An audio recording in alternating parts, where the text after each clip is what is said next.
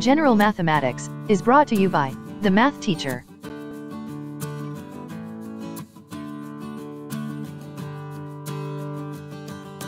Which of the following equations represent a relation, and which represent a function?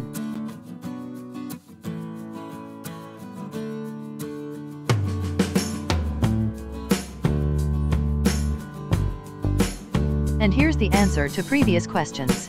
All are relations. Most are functions, except number 2 and number 4. Why? Because we can find an x value that corresponds to more than one y value.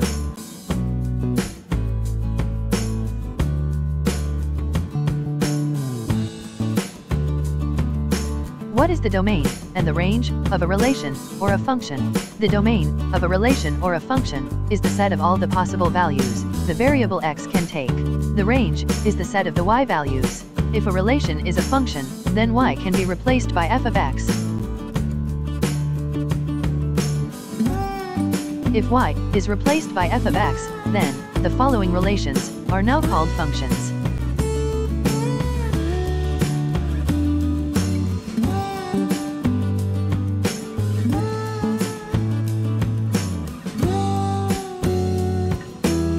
Evaluating functions. Evaluating a function means replacing a variable in the function, in this case, x with the value, from the function's domain, and computing for the result. To denote that we are evaluating f at x, for some x, in the domain of a function f, we write f of x.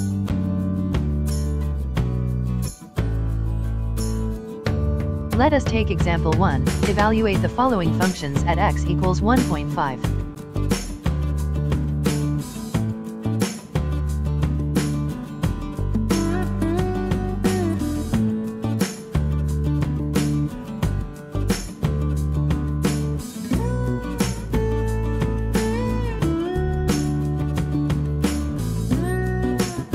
Example 2, find g of negative 4, and h of 1, where g of x, and h of x are as defined, in the previous example.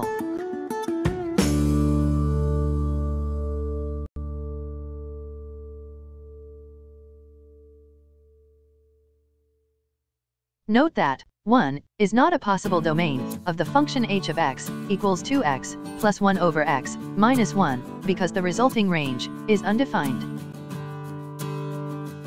Example 3, where f of x and g of x are as defined in the previous example.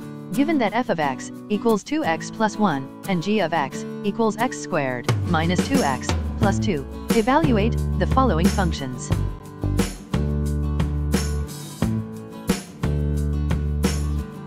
And here's the solution. To evaluate f of 3x plus 1, replace all the x in f of x equals 2x plus 1 by 3x plus 1.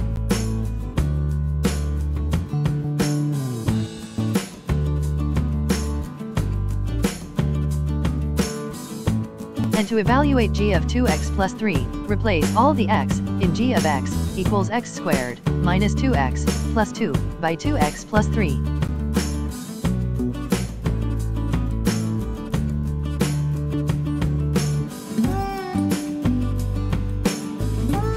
And for your tasks, perform seat work number 1.